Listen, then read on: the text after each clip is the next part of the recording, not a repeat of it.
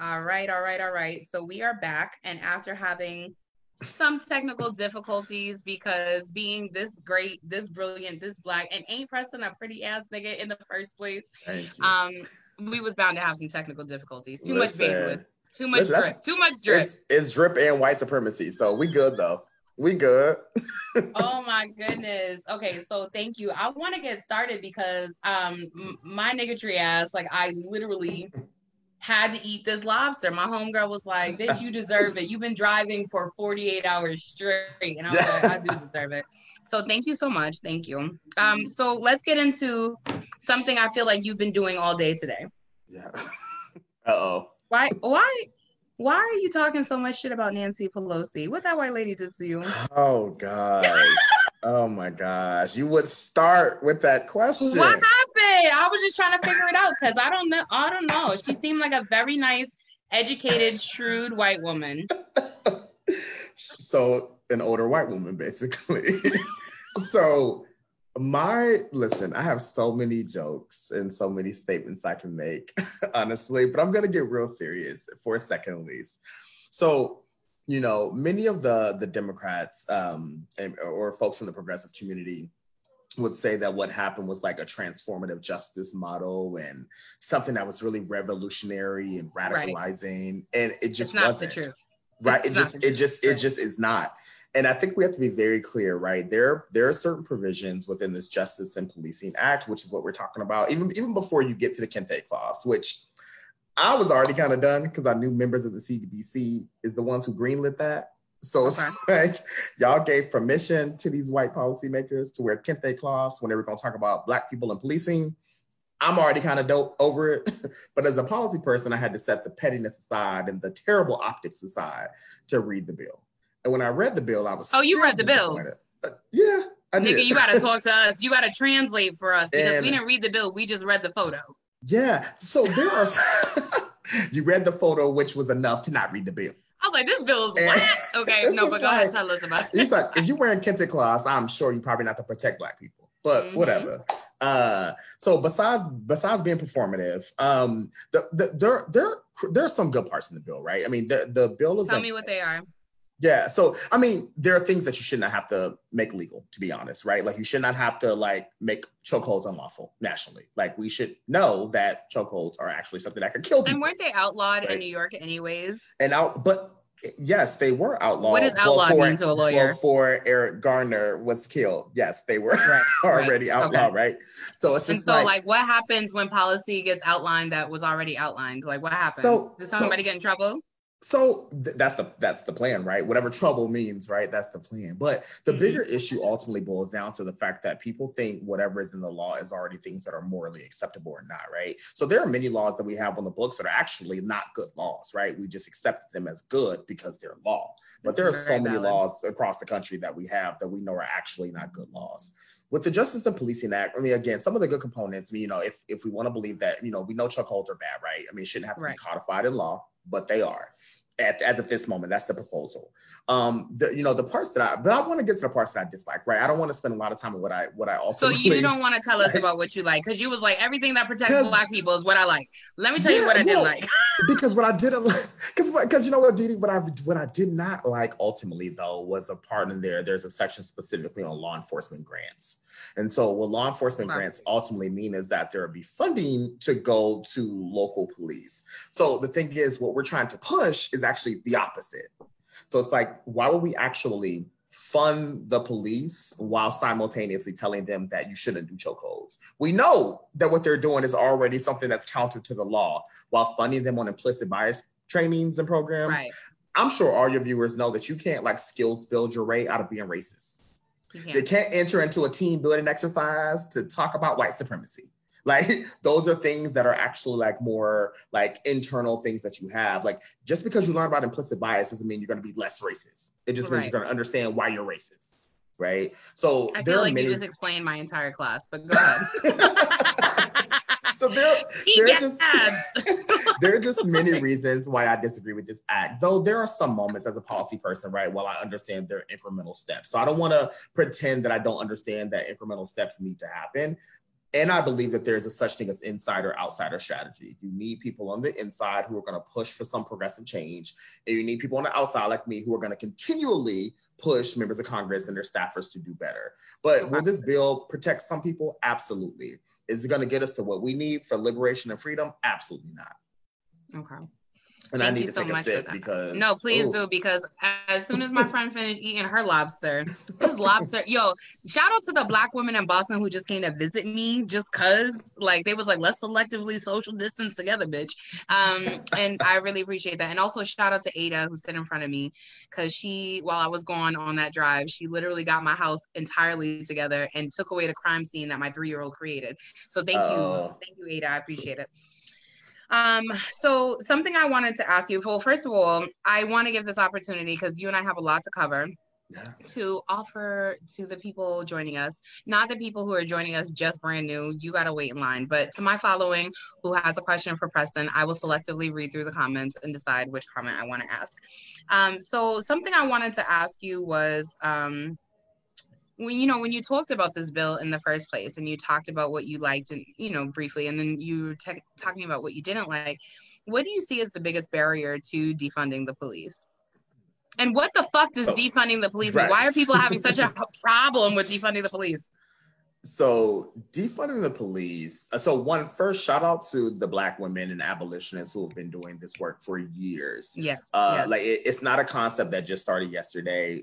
Within dc people like oh my that's yeah. Novel. People are like, oh, this is a very unique. And I'm like, it's not that unique, actually. uh, at least it shouldn't be. Um, right. So, I mean, in DC, honestly, I'll say I'm, i live in DC. In DC specifically, we've been pushing for defunding the Metropolitan Police Department since before 2014. Right. Um, okay. But but it, it, let me just first say that many people know what defunding is, right? Like defunding equals defunding. We knew what defunding meant when we were pissed that members of Congress for trying to defund Planned Parenthood. We knew right. what defunding meant when we defund education all the time and medical services and Medicaid and Medicare. Like we know what defunding means. For some reason, people get really confused when we're talking about defunding the police because for them, they've only envisioned a world where we have police as safety measures. So in short, defunding nobody bats an eye when they defund educators. I mean, exactly. Right, we're okay with paying teachers thirty thousand dollars, and okay I mean, with like talk about it Right, and okay with defunding public schools in poor cities across the country and using that money to then fund private schools and parochial schools, right? But right. suddenly, when it comes to police, we don't know what that means. So, in short, defunding the police means defunding the police. yeah, people describe it as like a reallocation or redistribution of social services and programs, which it, in short, that is what it is. But we need to be very clear that when we say defunding, we mean defunding. The goal is to get the police budget down to zero in every place that there is a police local, state, federal. Yes, you do use those services to then invest in things that actually are life saving components for people's lives, right? So, you and me, if we need housing, if we need healthcare, including mental health services, if we need employment, among other things, that is the purpose. But let's be clear the purpose of defunding the police because we know the history of police have always been around slave patrol to take freed slaves, pre Black codes, back to their masters, quote unquote, right? The purpose has always been to capture Black people. So if the purpose, if the initial purpose, if the etymology, if we're going to use big words, right, behind it is actually love etymology, okay, is capturing black people, mm-hmm. then we mm-hmm. know that in a current day it can't protect us. The right. only reason why people are so afraid and what makes a biggest barrier to defunding the police are people's lack of imagination. People cre- people pretend they care about young people and the children, oh, but no, they, they don't. don't. They don't. Because if they did, they would realize that the majority of young people, especially young people of color, young queer and trans people, they want a world that they are protecting themselves and less about police. They don't want school, they don't want police officers, or as people try to nicely call them, school resource officers. They don't want them in the classroom. What young people really want beyond, besides their education, besides being actually treated like someone worthy of something, they want to feel safe and secure in a community that allows them to do so. And that is not possible with the presence of police when we see the history of violence, when we see people being killed every day, right? If we talk about Black Lives Matter, if Black Lives actually matter, we will be focused on defunding the police and not reform. You can't reform racist systems. You can't reform. Are you an attorney? talking about you can't reform shit? Okay. Yes. Yeah, and, and, and let's talk about being an attorney for a second because I completely hear you and I agree. I didn't say shit. Well, I am saying yes. it. I'm saying it. The, the problem, because there are so many issues with legal institutions, and I went to a historically black one and learned less, frankly. And I love uh, my classmates know I love them dearly. And I love my alma mater, North Carolina State University School of Law. But what we did not train us on was thinking critically. We learned how to mm-hmm. read a book. We learn how to digest information. We learn how to memorize. Many of us, I won't say all, many of us did not learn how to think beyond the black letter law. Many of us were not pushed to think beyond the black letter law. We were taught to pass the bar exam. And once we did it, then what? Right? How are you actually impacting the quote unquote least of these? How are we impacting the most marginalized communities if all we can do is refer to the law and say, ah, it's the law, right? Right. Like right. when you actually just rubber stamp the law, you're not you're not being radical. You're not changing people's lives. Mm. You're trying to reduce harm in their lives, which there's a time and a place for that. I'm worried about the place where we can get all free, right? And the law itself won't do that. Mass mobilization and organizing will do that. Policy change will do that. Some law can do that. But just focusing on the law will never do that. So we're gonna bounce around between law and then those two tenants that you just mentioned, which was mass mobilization. I forget the other one, but I'll come back to it. Policy um, change. So policy change. Okay. So um I want to know because I feel like you didn't answer your own question because who am I? I'm not asking questions anymore, right? um, what is your stance on black lawyers? Do you know mm-hmm. any good lawyer jokes? uh why did a why did a lawyer why did a black lawyer go to law school? Why? The joke ends there. No, I'm kidding. But uh, no, I'm kidding. No, I'm kidding. I feel uncomfortable. No. no. listen, listen, I'm all about, I love my lawyers dearly. So this is all in jest. And I've been involved in bar associations across the country. like um, ultimately, but, do you think that like black lawyers are like um hurting the movement? And I'm saying it like be no. be no no no no let me finish. Like be clear. Yeah. Like is it like helpfully radical or is it hurtfully respectable? And where can mm. like the line be mm. struck, right? That's a good question, Dee Nigga, this is what I don't Listen. get paid for. You understand what I'm saying to you? that's a that's a great question, honestly. So there are some brilliant black attorneys. Right. Many, the vast majority are, are I, I think the vast majority of black attorneys are like brilliant and are actually attempting to radically to change. I won't say radically, to change the environment. Um, you know, as I was saying before, there's like an insider outsider strategy everyone can't be as quote unquote radical as me. It just won't be helpful on the inside, mm-hmm. right? There are some people right. who need to be less vocal and figure out how to actually make our, our ideas salient for their right. folks. Um, I knew when I was in law school, and especially after I start, uh, especially after I graduated law school, that that was that I knew my role was outsider. Like I just knew it because right. there was something that was so like audacious and amazing about being able to be vocal and bold and loud and annoying and frustrating right. and getting your point across, right? Um, at the same time, right, we also have lawyers like Law for Black Lives who work a lot with the larger movement for Black Lives. Right. We also have some like really good young Black lawyers who are attempting, like, who are actually providing pro bono services um, for like protesters Shout out to Avi in Brooklyn. Okay. Yeah. Listen, there are so many brilliant black attorneys, especially young black attorneys. So this is not just like any. I mean, I'm one of them. I mean, there's not. It's right. not the slight black lawyers. Come on, self accolade. No, you're an hello. Attorney. Thank you. Let me bow. You're welcome. it is. it is. It is, however, to challenge us. Um, we have a lot of work to do. We we really have to start investing in the community, and so often many black lawyers, and I've said I've shared this publicly, frankly, so this is not a surprise to anyone. Many black lawyers again learn how to be a lawyer by reading books, but not really by investing in community and okay. community care. Um, and, and I'm very and I and I and I I'm very serious about this because like I deeply believe that like lawyers have to listen to what's happening on the ground, just like policy people have to listen to what's happening on the ground. So often there's this like grass tops approach. There's this like top leading the bottom. No gay pun intended. Uh, but if you're gay and I look good, call me. I mean, um, but, but but there has to be a bottom up approach, and that quote unquote mm. bottom has to look like grassroots and folks who are most impacted leading. And I will bring in a congresswoman in this space um, Ayanna Pressley, uh, you know, congresswoman in Massachusetts, who like, you know, she's not the only person who obviously has this sentiment, but one of the things that she said that's very clear is like the people who are closest to the pain have to be closest to the power. And that is something I deeply believe in when it comes to policy change. I train young people on being comfortable talking to members of Congress and their state lawmakers. Many of them have so many brilliant ideas and so many great ideas, but they're afraid because they've been shoved through they've been shoved out the system right? There's so mm. many adults who are adultists to them right, or okay. um, right right. So they don't accept their opinions as something that's true but they are the experts of their own experience. All of that to say black lawyers are needed in the movement. We just have to be of much course. better about actually like okay yes and okay. Listen like being legal trainers being observers and actually listen okay. to the folks who are like most deeply connected to what's actually happening to their own lives What's the difference between a lawyer and a catfish? what? Hmm. one's a sun scum scucking bottom dweller, and the other's a fish. I mean, you're welcome. Um, what are your thoughts on mass protests being used to justify overtime and inflated police budgets?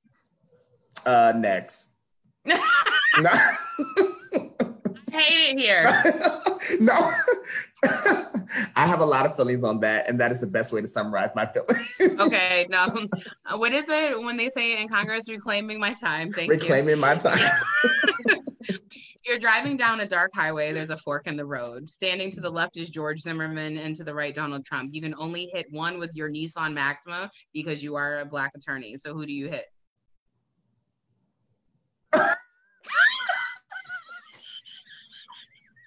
You know Welcome what? to the full nigga. Listen. Listen, I'm I'm now I'm probably supposed to be thinking about the bigger picture of the country, but I'm taking Zimmerman out. Like, like, small wins, small listen, wins. and, and the good and the good thing is my lawyer brain is thinking about can I answer this question? But yes, I can because it's contingency because you said if, and that means that that means it's not a threat. Because you know, white people are gonna come all up in your mentions. God damn it, Preston, we believed in you.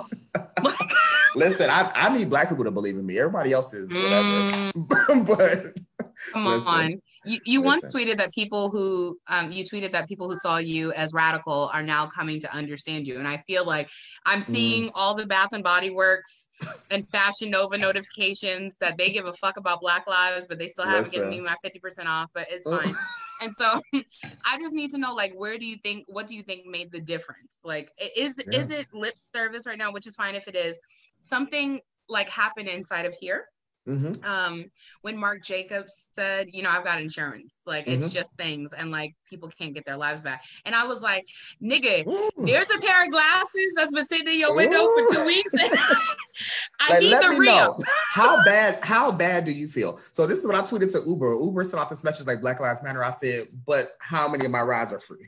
Right. That's what I wanted to know. Like, if my life is matter, there a second wave of, of of looting that's going to happen? Because I missed the first. You, and shout out to Kimberly Jones. What's her name? Kimberly Jones, who came out with this like this viral video that's been talking like breaking down. Yes, I shared it like, yesterday. Mm-hmm. Yeah, and that we need protesters, organizers, and looters, or rioters, protesters, and looters. One hundred percent agree. But you know um, they don't um, want to hear that at all. Um, I think your question, all your questions are good. Listen. they really are. I want to say this is gang, probably one of the best. Gang, gang. This is one of the best interviews that I've been on. Yes, so, I love to like, see oh, it people like, oh, you're a lawyer, but people who know me off offline know how I get down. So I'm okay. I'm thankful for for this. So what I'll say is, I think um, there, I think it's both and. Again, I'm, I'm mostly a both and person. Um, but I do think there are some companies that are actually now attempting to really invest in like diversity, equity, and inclusion, and understanding what's happening, understanding who their consumers are, really trying to like get at like how do we actually operationalize what Black Lives Matter means. Right. There are definitely, I would argue, sadly, the vast majority though of companies are just saying Black Lives Matter while not promoting Black people at work or using it to tweet, right? Because the truth is, these people can have like say all the things they want to say, but it's like when your company itself is 90% white and you're not promoting Black folks I don't want to hear about you saying Black Lives Matter. because you're proven based on your own internal hiring practices and who you promote or demote that you don't care about black lives or at least your black staff.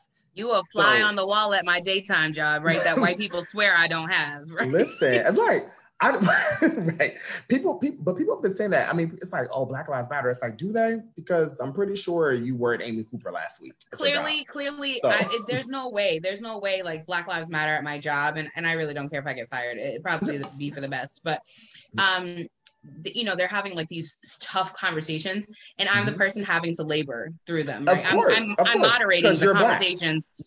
I'm moderating the conversation not just because i'm black but because i'm the mm. most radical and outspoken person uh, but it's not they're going to use that, that labor they're using my labor and I get paid still the same $16.50 mm. an hour. and I'm like, do you know who the fuck I am outside this job? Y'all better be glad that I need this bi- weekly insult every two weeks. Like it's mm-hmm. Munchausen syndrome. Right. I know I, I know I can do without it if I put my yeah. mind to it. But I was like, you know, but it's interesting because I really feel like there's nobody that looks like me with the exception mm-hmm. of one black woman and they all mm-hmm. treat her like she's the black woman like you know what i'm saying mm-hmm. and i work in a c level executive suite so it's yeah. very interesting to me it's very yeah. interesting it's a lot of lip service going on out here in these nonprofit streets so listen well let me know if something happened because i know many attorneys so listen you heard that here Yes. Thank yes. you. Because CC, if they did, it will be illegal. CC, so yeah. CC, my company. Thank you. So listen. Um, and listen, I got all the things. So something else I wanted to ask you, you had brought it up actually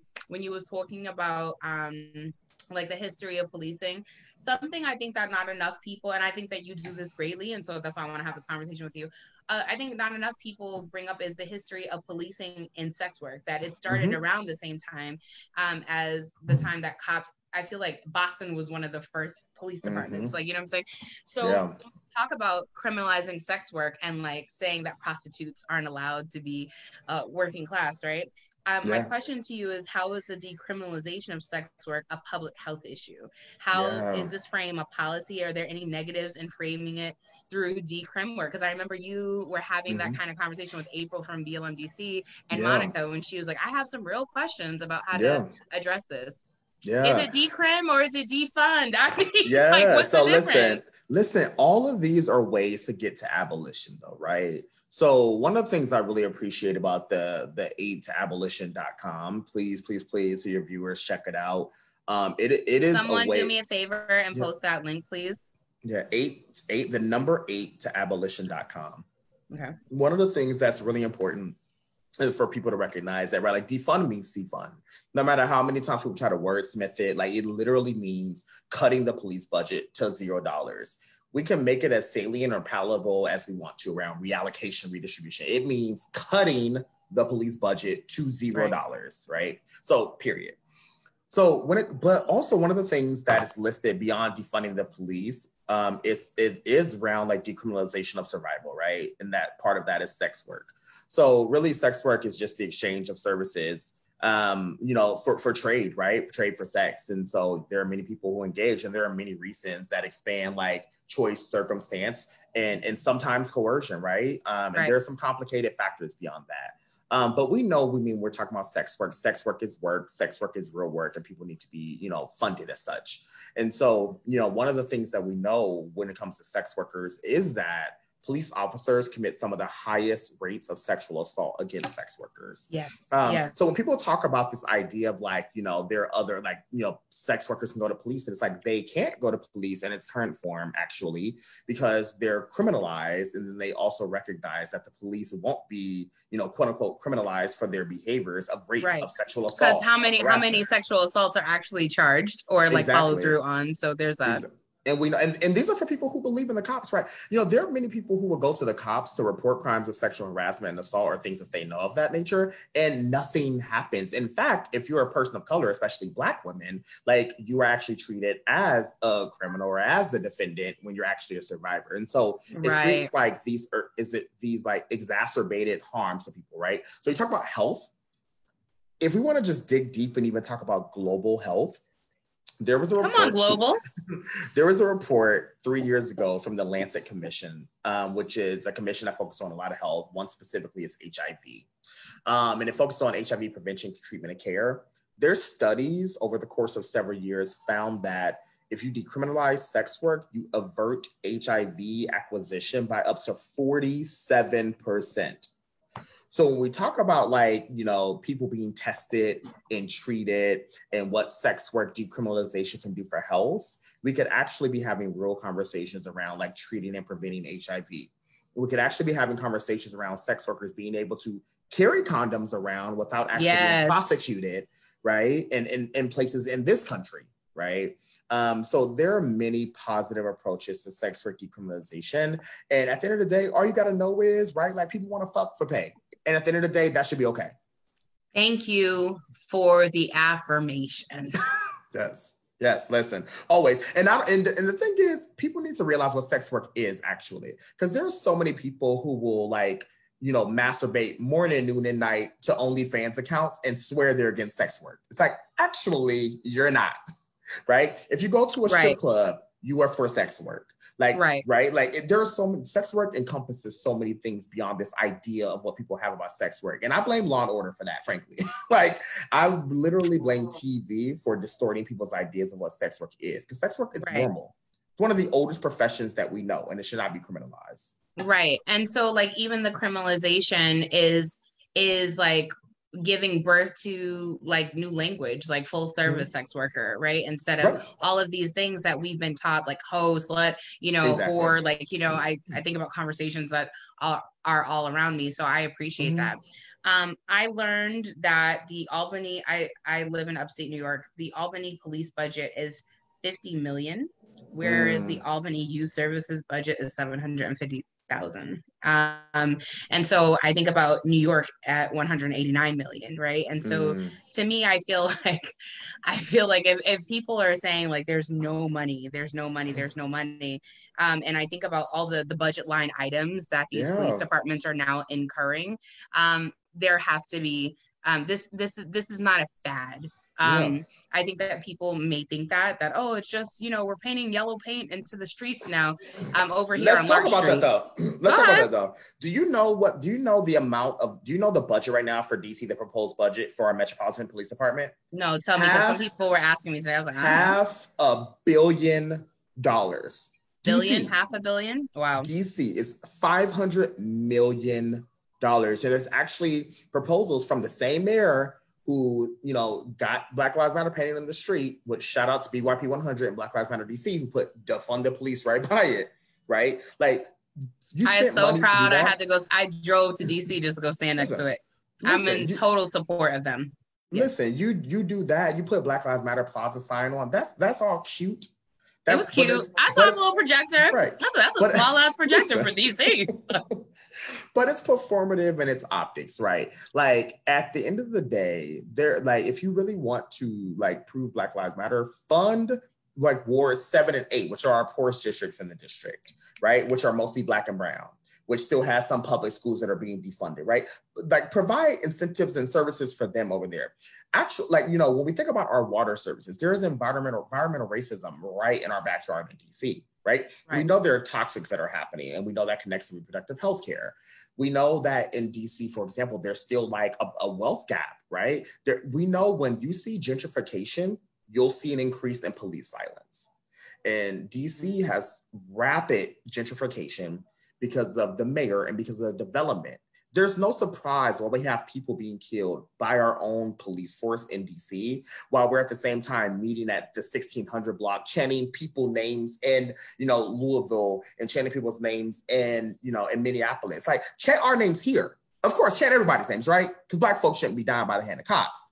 But don't right. pretend that it's not happening here at the same block that you painted Black Lives Matter while trying to increase the police budget by an additional $19 million, right? Like it is unacceptable.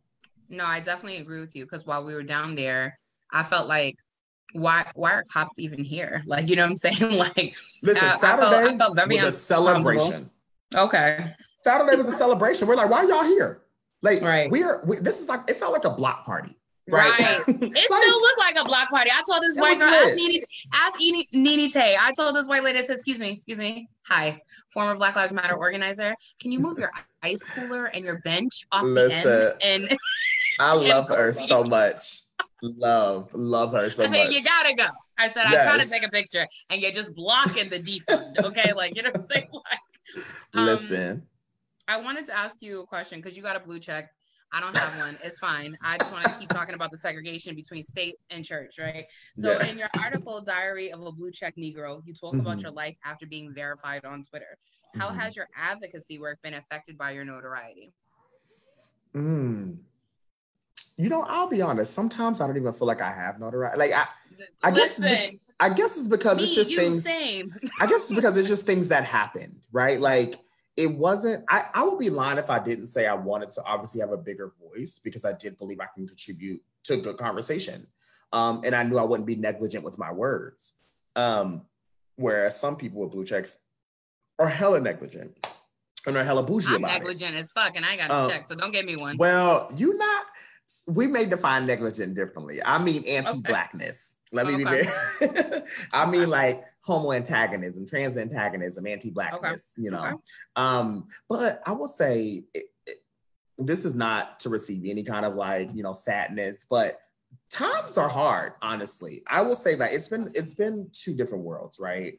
So when I got a blue check and when my followers started to increase over time, I immediately was like, okay, this is an opportunity to really use your voice to help folks, to provide resources, to donate money. You know, at one point for like a year, right. once or twice a week, I was just donating two lunches to people, you know, because that was the platform that I had. And I was like, I want to make right. sure this is a real thing for folks. Um, I will also say white supremacists and and you know straight black men largely alike attacked me a lot. And I, you know, and I usually wouldn't take that as a somber note until they like doxed me, until they like mm-hmm. targeted my mom. And so it became very like, it became serious, right? Like I, I, like I don't really want to like I I was like a, it was like nigga moments. Like I'm right. like, all right, I'm about to like lose my shit if someone tries to attack my family.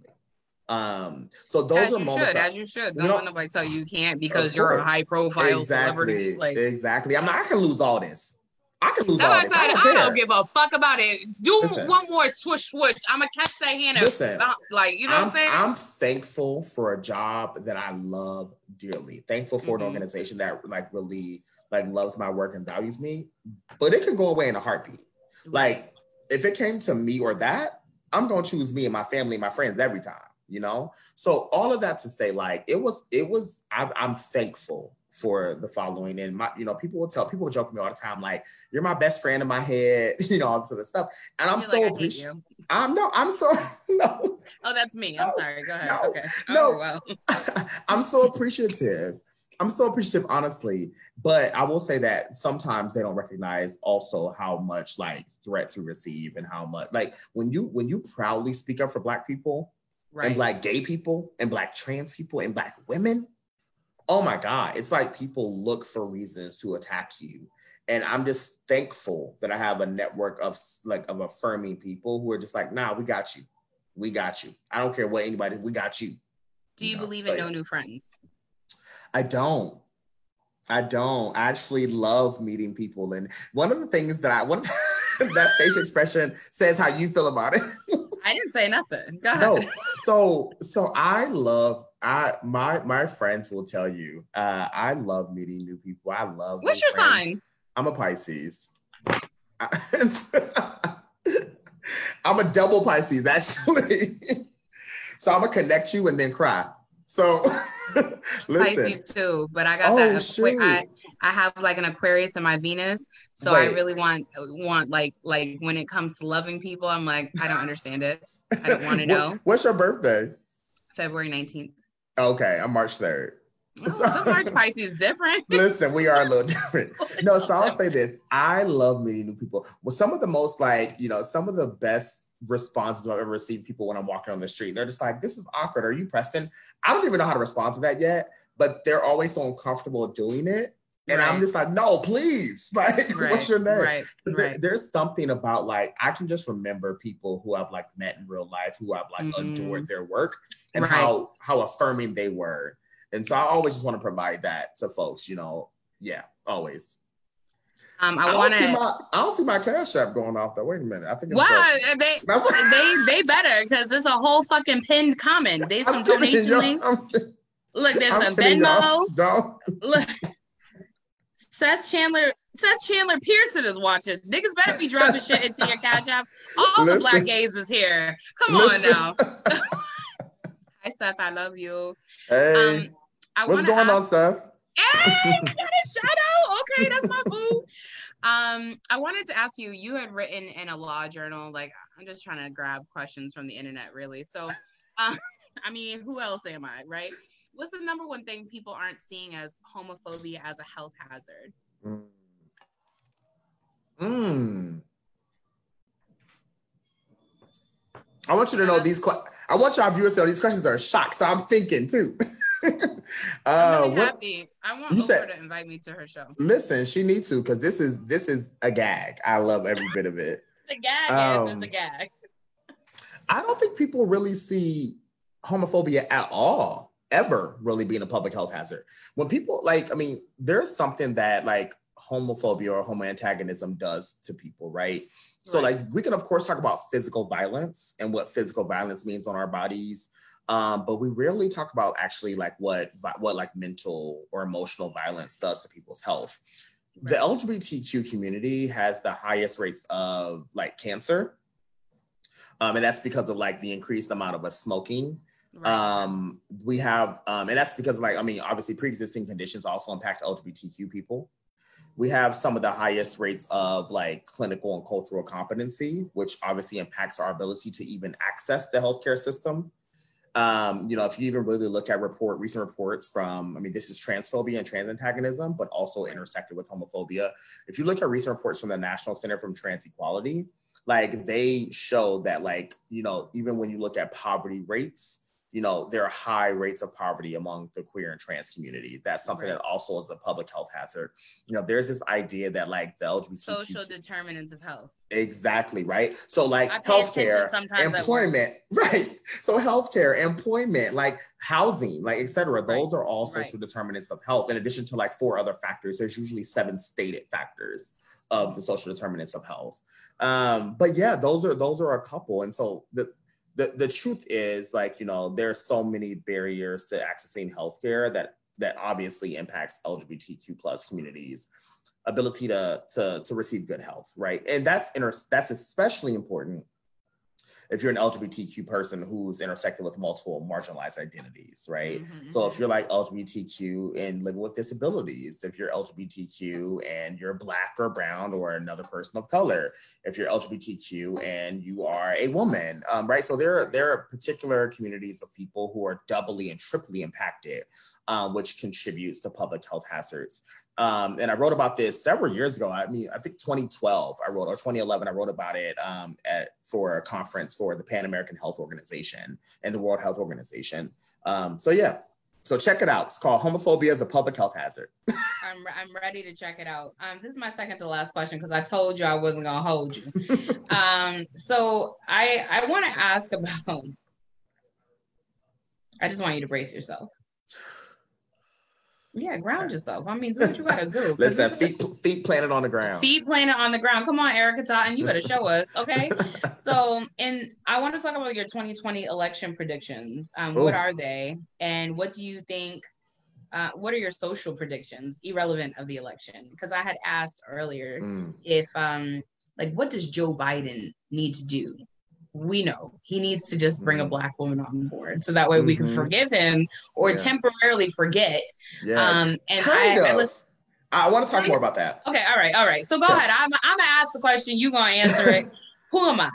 So no, no, excuse me. So I have so many feelings about. Um, hold on, I'm sorry, I'm choking a little bit. The only way to No, it's okay. I need I need something to drink too, but I didn't want to be ignorant. Ada, can I have more alcohol, please? Thank you. so Ice. Thank you. I love you. yes, sponsored by. Sponsored someone, Right. um. So okay. Thank you. So deep breath. So when it comes to the elections, okay. So let me just first be very plainly state around. Um, Black women are often, I mean, you know, I mean, I don't have to tell you.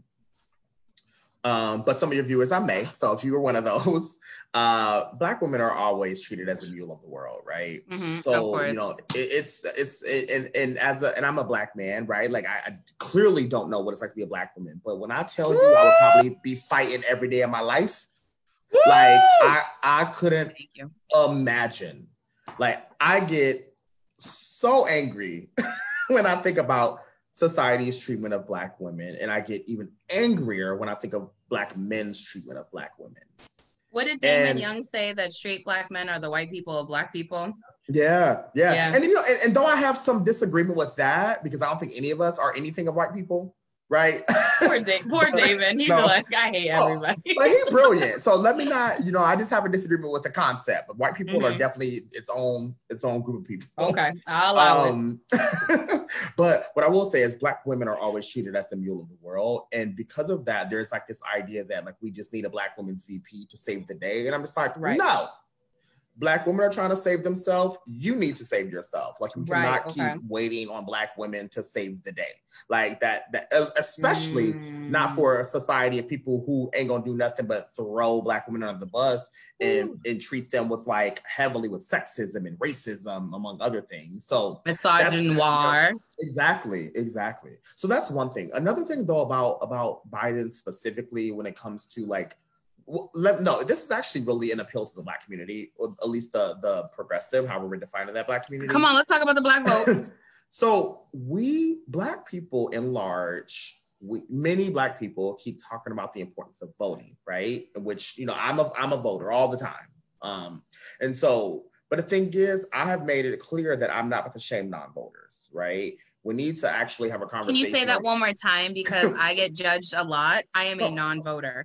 no I, i, am not doing it with I'm you. Ever policy- since John Kerry and Obama didn't make the ticket, I decided to use Listen. my time to organize my community.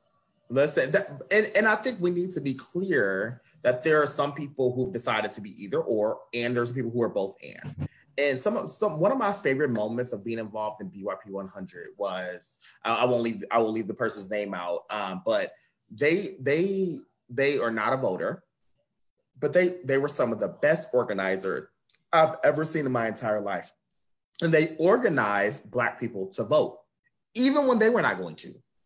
And so it's like it's possible to still do the work of mass mobilization, even if you're not engaging in the ballot box. I just happen to be someone who wants to do both, right? I've been doing policy work for about eight years now, right? Like there are some benefits I do see from us voting, right? And in mass, Black people have never in mass engaged in the electoral process. And sometimes I do think like, what if we did? What would that look like, right? No, we don't know the answer to that, to be very clear though. Of course. However, I do believe that we do not, sorry, and we need to actually talk about what establishment looks like, right? Like wh- how, what status quo looks like, why are we're not pushing for more radical change, right? There are so many, right? Because people are tired of the status quo. People are tired. Like we started this race off the like most heavily diverse can like pool of candidates ever, and ended up with the two oldest white men who are running right? Like there's something that's deeply unsettling for people here. to actually push for like women or people of color or more radical folks. What I will say though that disappoints me sometimes around our beloved community is that I see people demanding black people vote, right? But if you just demand black people to vote for Democrats, if you just demand black people to vote for any blue, no matter who, there's nothing that requires them to be accountable to us. They're just getting our votes. So people can be mad at Biden all they want to if he's elected. The truth of the matter is we've, give, we've given him and his camp no reason to be accountable to us because we're just saying, just take our vote because you're better than Trump. And because you're better than Trump, you don't This have to do read. anything but be This better than read. Trump. So it's like if Black people actually want better and we want to be more like civically engaged and civically minded and actually care about policy change, we have to hold Democrats, Republicans, whomever's feet to the fire and say, you don't get our fucking, excuse me, hmm. you don't just get our votes just because you are better than a white supremacist who occupies the White House. You get our votes by actually making an agenda that centers us and that actually cares about the issues that we have, right? So that is the thing that I need people to get. You don't just get the vote because you're a Democrat. You get the vote because you actually care about us. Because if not, there's no reason for us to hold them accountable, and there's no reason for them to give a damn about us. No reason. So I don't know no predictions. I was about to say, nigga, what happened to the prediction? I, I, I mean, Come on, Miss Cleo. so what? I, so I believe I believe both are possible right now. To be honest, really, I, I, I people were so shocked when when Trump won, and I was like, y'all really undercounted. I wasn't shocked. I went to exactly. sleep. I already knew that nigga was gonna win. Exactly. I'm like, we're not paying attention to what really undergirds the country. right? People want to pretend that the country started off, it's like this country is founded on the American Revolution. Actually, it was founded on racism and classism, right? Like that is what the country, we may call that American Revolution because we want to be salient to our young people who are reading books in elementary school, but we also call that slavery. We also call that racism, right? So like what I, I, I never discount how racist this country has been for for millennia. Um, so that doesn't surprise me, but I also think there's a lot of momentum happening right now from Black folks, from Brown folks, and from well meaning white people. How can we keep that momentum going? Oh, yes. Okay. so I think we have to keep the momentum going. Honestly, I mean, I keep saying this, but truly through, I, I would say, the intersection of organizing and mass mobilization and policy change. Uh, and people need to really keep paying attention to Movement for Black Lives, honestly, and this 8 to abolition.com um, I'm gonna keep mentioning them, right? And I had nothing to do with abolition.com. There have just been things that I've been talking and training on, et cetera, for years now, right? Right. Right. But there's been a, there's a brilliant group of black women and brown women who've come up with those approaches, right? And frankly, they've they've been counter to the eight can wait approach. That was really like as I call them, like an Independence Day sale to police killings, right? So it's like if you stop chokeholds, you'll reduce black killings by 70%. And it's like, well, I'm looking for something that's going to reduce 100% of our killings. So right. when we get that approach, let me know. And you know, through that, the eight can wait, you know, excuse me, the the eight to the eight to abolition.com came out. I think we have to keep being in the streets. And the one thing that I keep saying is, and I'm gonna keep saying it is do you know just how angry people have to be to go outside and protest by the thousands during a pandemic to tell you that anti-black police brutality? I was like, I thing? was getting in trouble for selectively social distancing. Y'all niggas just listen, wild abandoned. People were just listen. People were like, you know what? I'm done. I'm I'm angry at this moment. And right, and I'm like, but just think about the anger. Think about how righteously indignant you have to be. To right. be like, you know what? I know there is a global pandemic. Honestly, that is killing at this point 2 million people around the world but i'm that angry to go to talk about like what brutality looks like to me to talk around like how police brutality is a gender issue is a racial justice issue is a class issue is a reproductive justice issue right like mm-hmm. those are the things that like i think can keep the momentum going um, right like this is this is not a moment it's a movement and i really think people are going to be shocked so when people ask the question who's going to win in 2020, right? Like I, I don't mistake it that I believe that like Joe Biden is the most radical. He's not, right? Do I deeply personally believe through like my own opinion and policy and movement building work that he's better than Trump? Of course, right? Like right. And and I also believe that like he's a draconian. It, Just I mean, right. right. I mean, he's certainly better, but but he's also mm-hmm. not going to to save us. And I think that is the thing we have to, you know, get in our heads that no candidate, no policymaker will save us. We as a community are the people we need to survive. When I'm hungry, I ain't about to call like Biden. I'm gonna call my friend. I'm gonna call my homie. I'm gonna call some movement mm-hmm. building folks, right? Like when I don't have a place to stay and I'm unhoused, I'm not gonna call Ayanna Pressley, despite my love for her, right? I'm gonna call my homie. I'm gonna call my friend, my sister, right? So right. when we when it comes to material conditions, and the immediate needs, we know community is who we need. It's just when it gets at these massive levels, we forget and we think these are the people that's going to save us. No federal policymaker or United States president has saved us and they never will.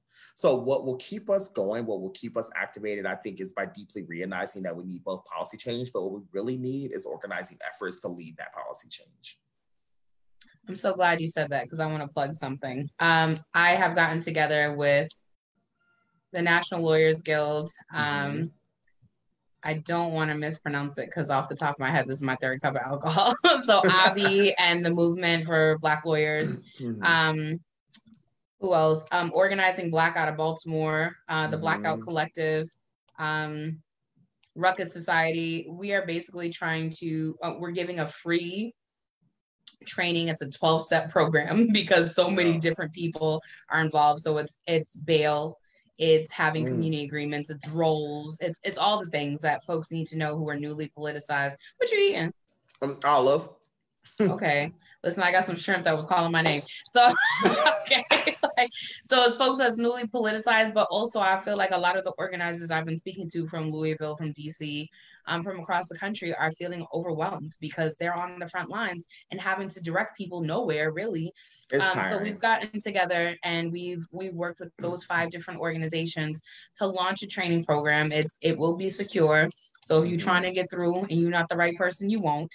Um, yeah. Um, but it'll be free for Black organizers. If white people want to come and be on the strings of everything, like they do, that's fine. Uh-huh, but what we really need to, uh, is people to support because we will be giving grants of 500 to $1,000 for technology upgrades, VPNs. Wow um, all the things. So I've been busy, um, but I just want to say thank you. It. That is both.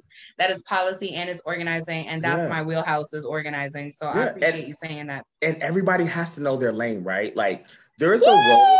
Hallelujah! listen, listen. there's a role for all of us, right? And I told I was talking to a group of like 60 students the other day. Um, at Howard, and they said to me, well, online, they go to Howard, and they said to me, like, I someone told me that I was a sellout for not going down to the protest. I'm like, during the whole pandemic, listen, even if it wasn't a pandemic, you wouldn't be a sellout for not going to a protest. Maybe you're not someone on the front lines, right? Maybe that's not your role. Your role can Thank be you tweeting. for saying that too. It can be donating. It could be sharing resources. It could be engaging in radical self-care. It could be breathing, right? right. Like do you know how violent it is, like mentally, physically, and emotionally, to like see your people die on TV and to go down the street to protest them dying?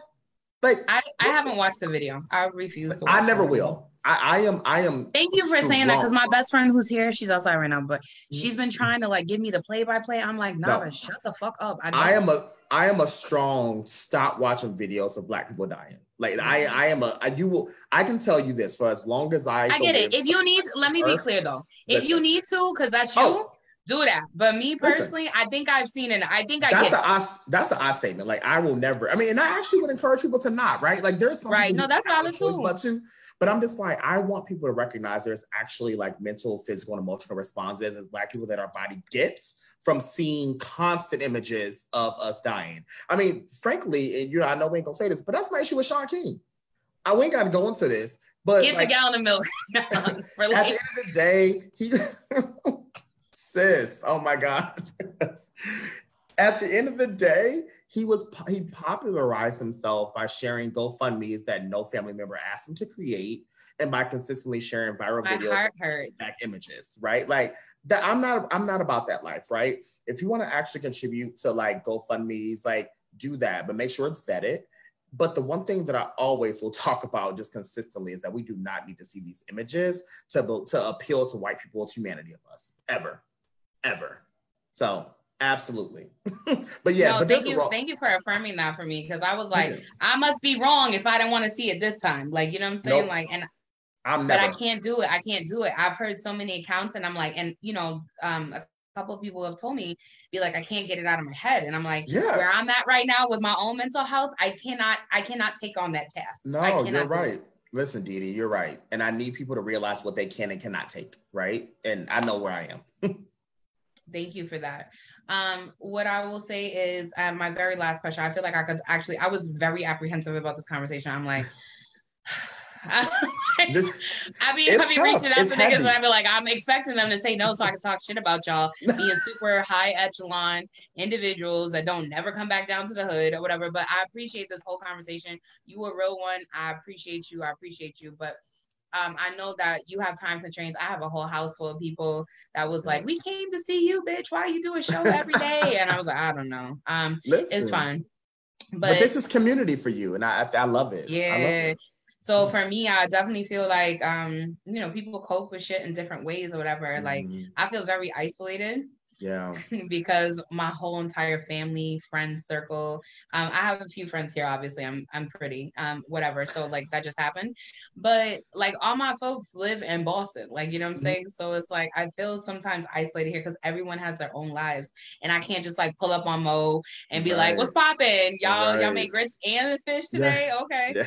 Um, and so I appreciate like having these conversations and people, you know, in my friend circle, like we worried about you. Um, yeah. Um, why are you doing a show every night? I was like, cause the bitch had a schedule. Yeah. And then everybody I wrote to in April before the show was popping was like, yes, about uh-huh. that. I can come now. so uh-huh. Yep. But it's good though for me because it, this is actually one of the very first projects I've seen to fruition without anyone's help. Um, mm. Um, and so yeah. I appreciate the volunteers that have come through but most mostly it's me being like, no, that's not what I meant mm-hmm. when I mm-hmm. asked you to do that, and so yep. now I'll do it. And so I just appreciate you sharing this space with me because it's important to me for yeah. like what I'm trying to envision here to actually be actualized. Like, you know, yeah. So thank you for that. I no, thank you. And thank you. So listen, I when I you know, because I we all heard of Didi Delgado, right? Like that's clear. But when I tell you people were like, when you had posted something, people kept calling oh, my name. I said, me? I Wait, said, tell me again. We listen. Li, it, who who VH1 MTV somebody listen Oprah. No, well, okay, so you're gonna be a girl that's gonna give back to us all the time. Come on, Anyways, come on. So no, but like when people kept commenting my name or something, I was like, what are they commenting my name for? And I saw, I was like, okay, y'all, yeah, keep commenting my name, keep commenting my name. I want to talk to her. So yeah. Mm-hmm. Thank you. yeah. My last question. This is like made my face smile. Like I feel like I'm in love. Like you know what I'm saying? Like, but it's because I was already in love. So, but like it just I feel like my heart has smiled. Come on, Pisces energy. Yes. um. So my last question is so sad, but it's a two pronged question because I'm a two pronged bitch. Like I'm very, very multi-dimensional, but I'm complicated. And so yeah. My question to you is Is there anything I didn't ask you that one, you were surprised I didn't ask you, or two, you were like, oh, we didn't even get to that. I got a book coming out. She didn't even ask me about my motherfucking life. And then the second part is the second part is who would you like to see on the show? Honestly, so the first part of the question, no. That you you have I deeply enjoyed this conversation. Thank I, you. I, I, only wish it was longer, honestly. I know. Uh, like I'm, I'm, I'm secretly looking at like the live chat too, and I'm seeing friends and uh, folks pop in, and I just love it so much. Um, no, I, I, I, yeah, I just wish it was longer. To be honest, I think when I think of shows like this, I do think of like current events, pop culture, you know things that are happening in society and i feel like you know it was it was here and it was covered and there were some surprising questions that were good like some fun questions uh, so that so that's good. Um, no, I don't have anything else there. What? Who I would Wait, before you answer the other one. Yeah. Did you watch the Sunday's episode of Insecure? I did. Don't tell me about it. I just wanted to know. Oh. I want to keep. I, we haven't watched it yet because I was waiting for all these niggas like literally driving back and forth. Like I'm just. I'm, i want to take a nap. Okay. Listen. Like, but I can't wait to watch it. I hope Please no one do. talks to me about it. But you're Please saying do. yes, it's a recommend. Oh, 100 percent. I mean, I'm still over Molly, but yes, recommend. Hard recommend. So I okay, I'm over Molly too, but I will say someone who was a guest on the show and I have big, big love for. Her. She helped politicize me, and she still don't. She don't realize to this day. I met her in 2012, Emily Musso. I uh-huh. think she was like episode number 40, if I'm not mistaken maybe 39. Um, she helped politicize me and she was like, first of all, y'all fuck around and give Issa way too much credit. She was like, cause and she gave like a whole dissertation, and I was like, I feel you know what's funny? So I don't think I don't think you have I don't think being anti Molly is pro Issa. I think they both got issues. Okay. I just think they both got issues. I just think this season Molly is showing the only thing that Molly's showing that's good for herself as of this moment are her outfits.